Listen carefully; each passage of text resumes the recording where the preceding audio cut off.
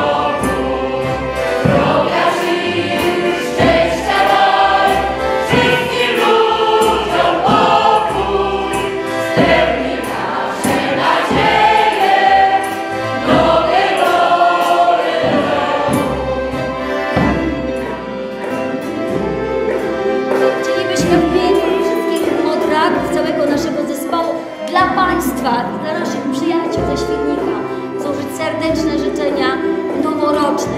Przede wszystkim zdrówka, bo to jest najważniejsze. Życzymy Wam z całego serca, od nas zdrowia, szczęścia i pomyślności na każdy dzień Nowego Roku. Dla Państwa i dla zespół Modraki z Parchowa.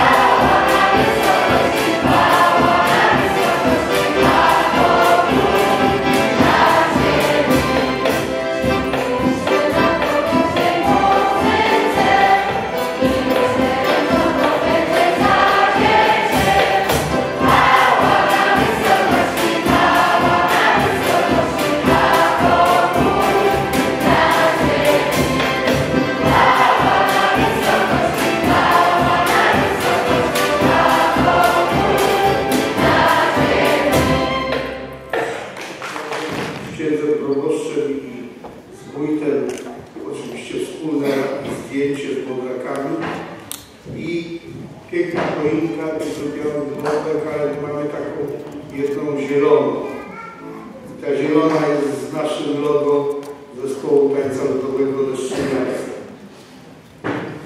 Państwa, zostawimy jeszcze dla księdza proboszcza płytę z kolendami, ich jest trochę więcej, aniżeli zaprezentowaliśmy.